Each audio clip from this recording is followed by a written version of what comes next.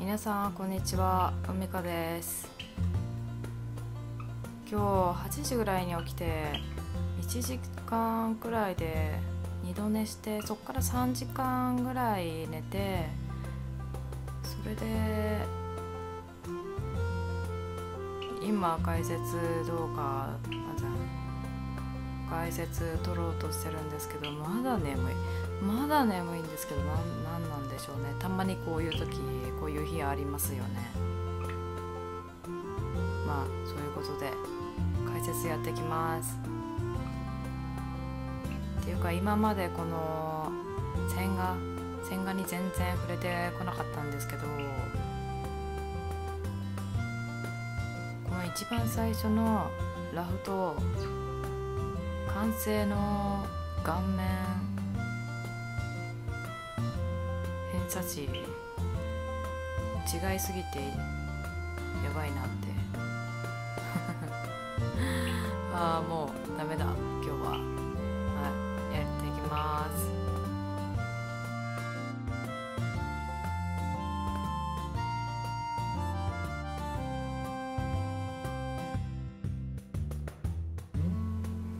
前回の動画からこうやって声出し解説始めて聞きやすい声とか不快感のない声とかもう恐れ多くもね綺麗な声とかかっこいい声とか言われて私はうん嬉しいですね。調子乗っちゃいますよそういうことを言っちゃう言われるとね。ちなみに今帰ってるキャラはリクエストです。クエストしてくれた方ありがとうございます。原神っていうゲームのキャラなんですけどその原神で誰描こうかなと思ってめっちゃ迷った。原神ってめっちゃキャラよくないですか？ゲームまだやったことないんでわからないんですけどこのこの子よく見るなーってずっと思っててちょっと書いてみたいなーってね。そのリクエストもらう前から思ってたんでね。いやちょうどよかったですね。この服の露出度がもうちょうどよくていい。でこのね筋肉のねつき方もね細身だけどちゃんとついてますよって感じでね。すごい好みのキャラです。前回の音声解説動画で倍速した声が聞き取りにくいっていうね要望があったんで今日は私がゆっくり解説していきます。では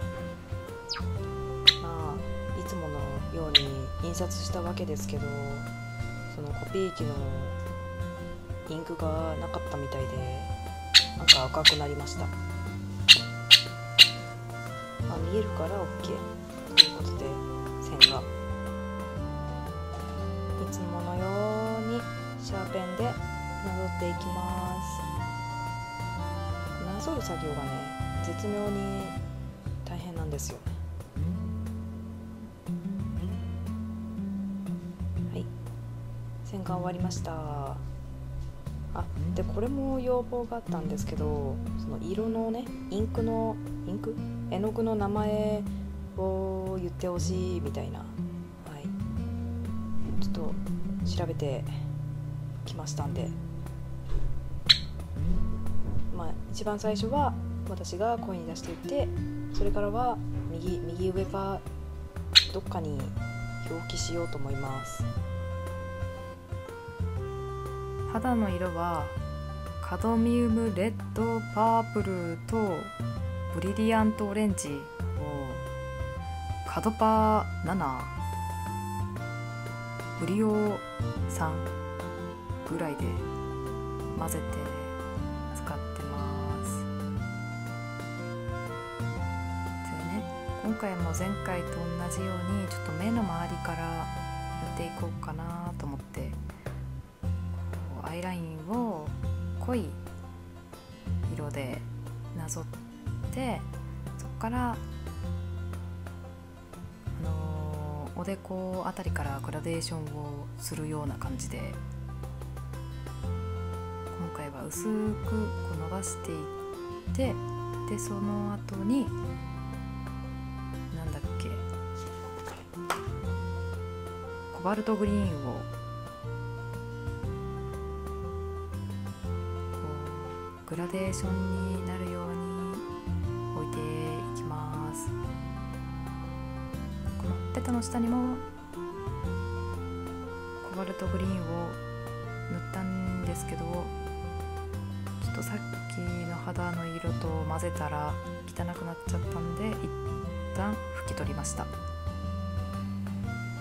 まあこううまくいかない時もあるんでね。片手にティッシュをってすぐ拭き取れるようにしといた方が水彩はいいと思う。であのほっぺたの膨らみと鼻とか。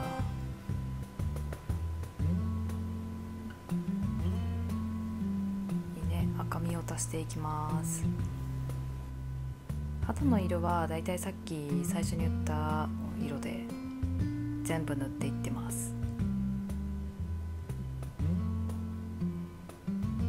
最初にねこう薄い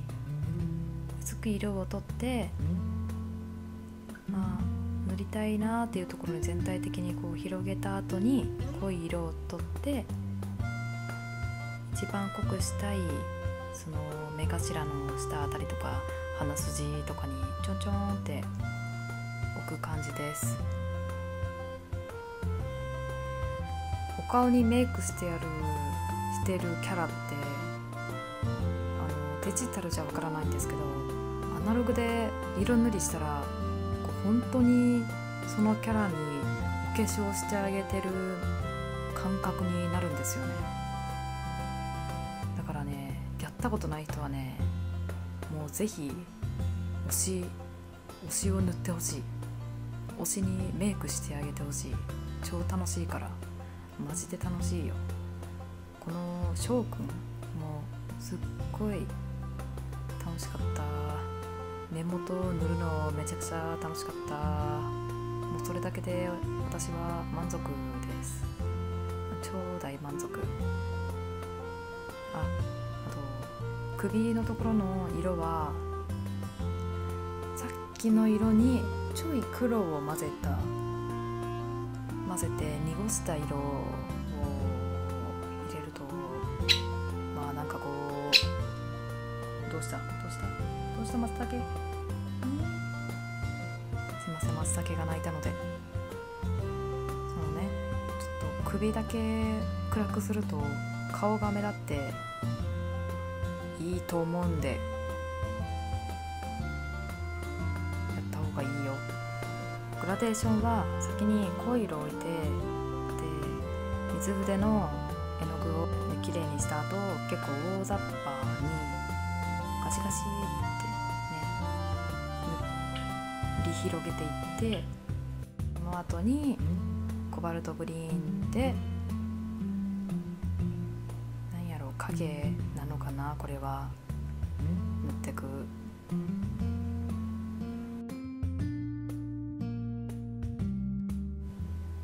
はいここで水彩の醍醐味水彩協会のようなものを使ってみたけどなんか仕上がり的に微妙だったからね。これ後で塗りつぶすことになる。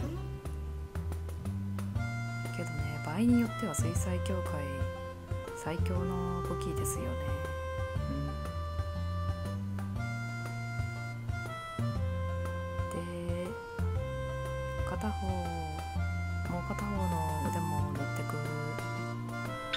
そんな重要じゃないやろっていうところの塗りはあのすっ飛ばしてるんでね。あのもしもここの塗りが知りたかったんだよってね人がいたら、まあ、あのコメントください。しかしたら説明つくかもしれません。先に髪のインナーだけ塗ってるんですけどこれ多分結構この子髪の毛暗いじゃないですか。その暗い色とねこういうインナーをね一緒に塗っていったら、えー混ざっちゃって大惨事になると思うんで先に塗って乾いた後から暗い色をのせていくみたいな感じでね塗った方がいいと思う。ちなみにここの色もコバルトブルーでその後に入れる大きめのグラデーションもコバルトブルーで入れます。アクセントになるように黄色えっとパーマネントイエローディープっていうね黄色を入れてるんですけどなんか目の色も装飾品も結構黄色が多かったんで黄色にしてみました。まあなかなかいい感じのグラデーションになったのではなったのでは？さっきから聞こえてきてるバサバサ音とか鳴き声とかは全部松茸なんですけど今ちょうど膝の上に乗ってきてくつろいでるんでも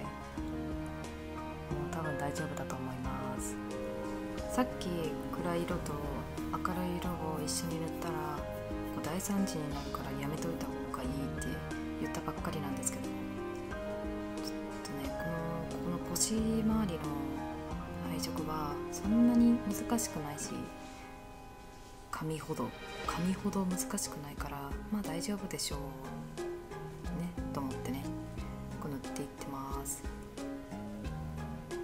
ルトブルーをねもう本当にふんだんに水と絵の具の量を増し増しで塗ってっ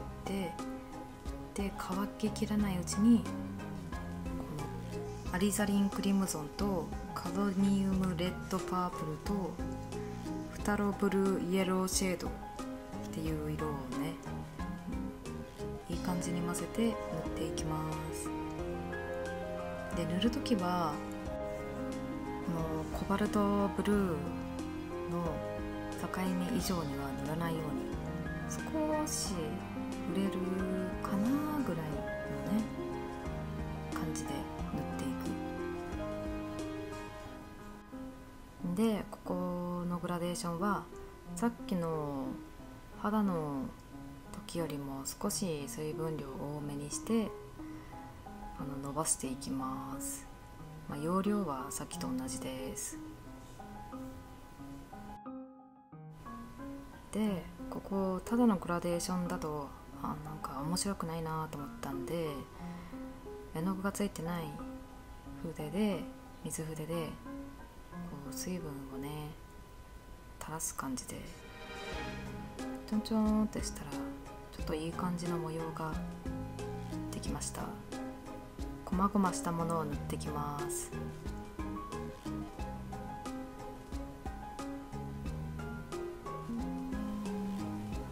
ほんとこういうこまごましたものって描くの億劫になるけどあのイラストの見栄えっていうか完成度がね全然違ってくるんでちゃんと描こうね。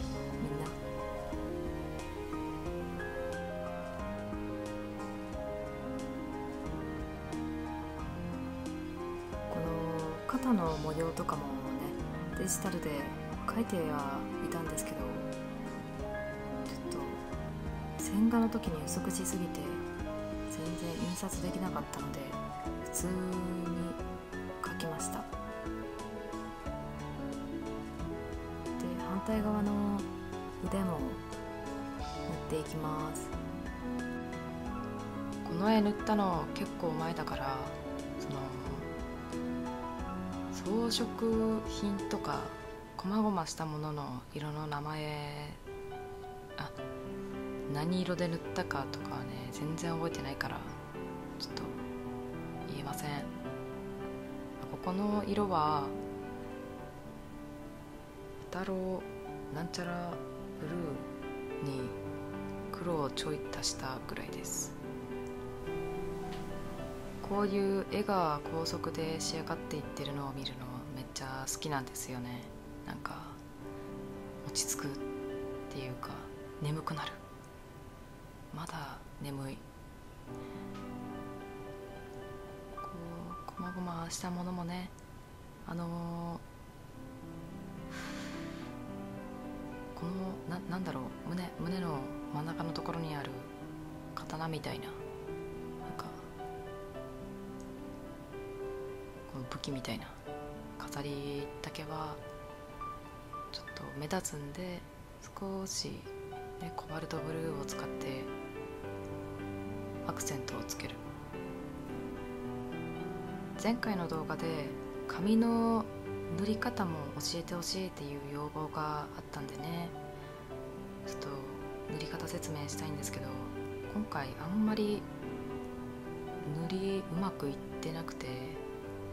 そのインナーカラー入れるまでは良かったんですけどなんかね素直に塗りすぎてもうちょっとここ冒険した方が良かったなってところがねあった。まあこの例えばもうイラス完成を表示しちゃうんですけどこの襟足のところとかもっと青くしたり、まあ、例えば右側のインナーみたいに黄色を入れてみたりしたらねそしたらもっと手前の横髪が目立ってちょっと映える絵になったんではねえのかなって思いましたね。惜し髪の塗りで言ったらだいぶ前に塗ったあのこのアスカの髪の塗りがすごいうまくいったなって自分的には思ってます。この前のね前髪部分と後ろ髪部分がすごいはっきり分かれてるしなんかそのその2色でコントラストが生まれている感じがして良い。前髪のこの左部分に濃い影をつけたりとかあと後ろ髪の先端は青に沈めたりとかね。であのプラグスーツの赤色をちょっと後ろ髪に反映させてたりとかこの強い光がここら辺に当たってるんですよ感じで黄色をね入れてたりとかね。いやこの時の私髪の塗り頑張ってましたね。いやちょっと自分で称賛したい。よう頑張った。よう頑張った。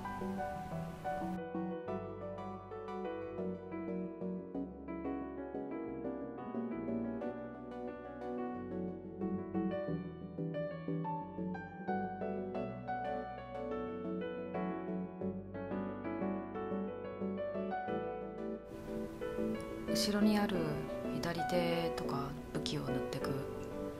私あのもうこの後ろにあるものを青で塗ってるのって癖になってるんですよね。でもう青で大体全部塗ってしまった後にちょっとそのそこの色の黒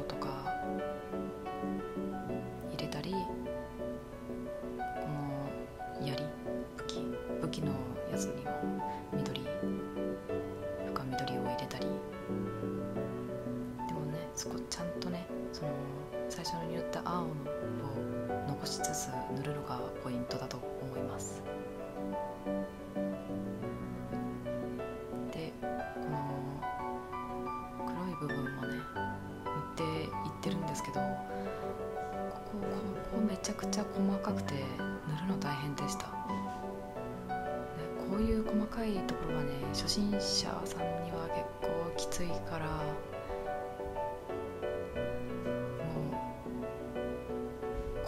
マルチライナーとかで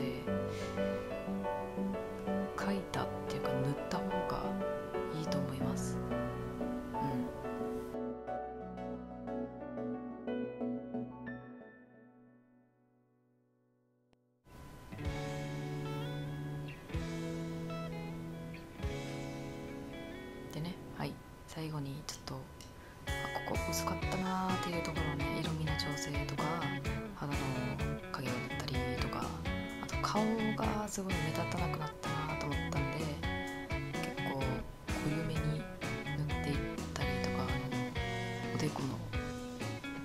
おでこのマーク。を塗っていきます。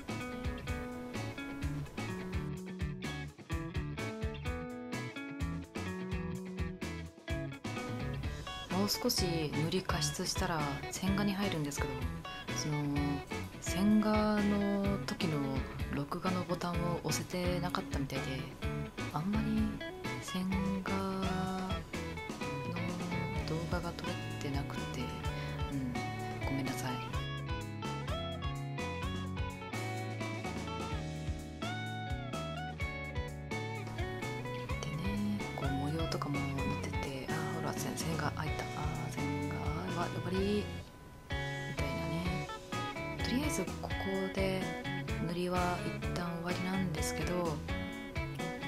次の日に見た時にあーあんまりパッとしないなと思ったんでがっつり加湿しました。その動画も撮ってたり今まで動画で描いてきたイラストのイラストをパラパラ見たりあとデジタルイラストもちょいちょいねちょっとね紹介したりねしなかったりするんで。まあ見ていっていただければ嬉しい。あのー前の動画でなんか斉藤先生のイラスト上達法をのどれかやるって言ったじゃないですか。まああのー何をやるかっていうと一日上達法をやろうと思っててね。ねそれでいっぱいネタ出しをしたいっていうかラフをいっぱい量産したいっていうのもあるしなんか最近絵の絵を描くことへのマンネリ化っていうかすごい絵を描いてて楽しいっていうのがね薄れてきてると思うから。でそれでちょっとね一日上達法でまた絵を描く楽しさ知りたいっていうのもあるし無茶できるのは今のうちかなってちょっともう少し年を取ったら体がついていかなくなるかなと思ったのでちょっとやろうと思います。なんでリクエストはまだ募集中です。今のうちにリクエストしたいっていう人はリクエストしてください。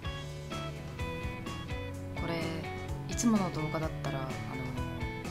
のわーんシャララーンわーわーんみたいな感じで完成イラストを表示すると思うんですけど完全にタイミング逃しちゃったんでこのこのよ横の方に表示しておきますね。あのまあこれで許してください。この絵に関してはまあこんなところで終わります。まあこの後もまあいろいろくっちゃべるんで暇な人は見てってくれでは。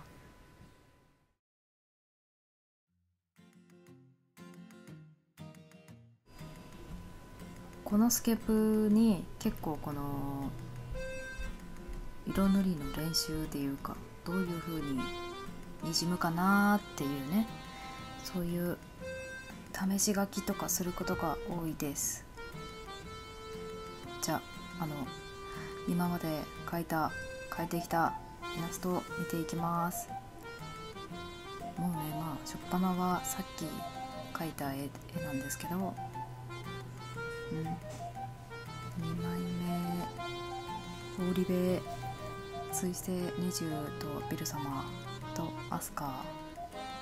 これは結構うまく塗れたなってレイもねこれね生で見たら結構いい感じなんですよ。ルークはこの服があんまりうまく描けなかったなっていうのが悔しい。この3人はいい感じに塗れたんだ。ないかな。でエースもいい感じ。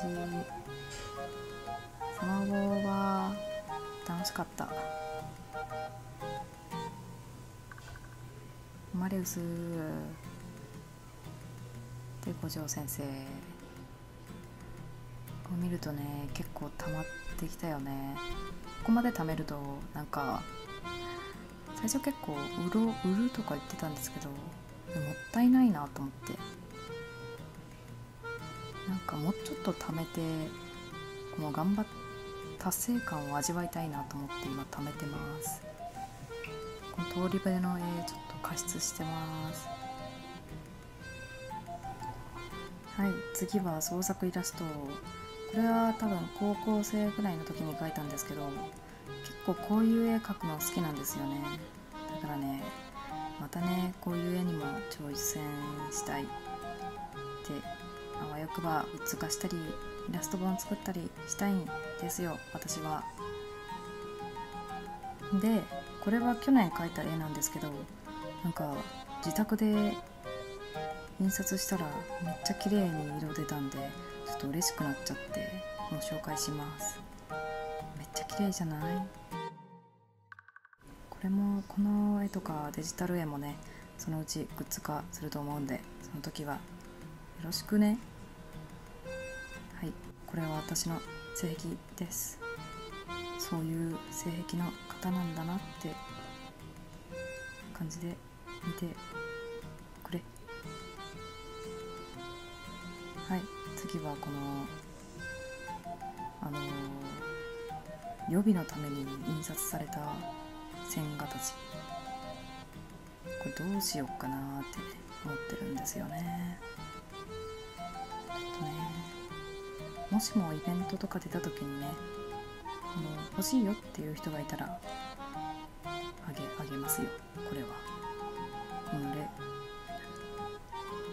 レオナもね一応書いてたんですけど売ってない。記憶がない。あ